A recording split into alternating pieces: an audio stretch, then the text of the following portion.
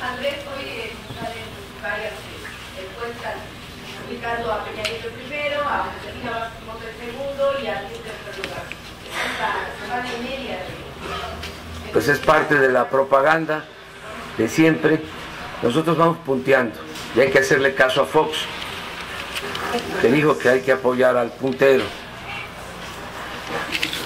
Pero no crea esto un escenario de, de- de desconfianza en la ciudadanía, en los propios vecinos. No, la gente ya sabe que uno de los grandes fracasos en esta campaña fue el manejo propagandístico de las encuestas. Y eso es lo que está quedando de manifiesto. Andrés, la encuesta de que usted eh, no, varía su, porcentaje después del debate y que La encuesta del Universal como la encuesta de Milenio están, y ya ni hablemos de la de Excelsior, están este, en el mismo rol de propaganda.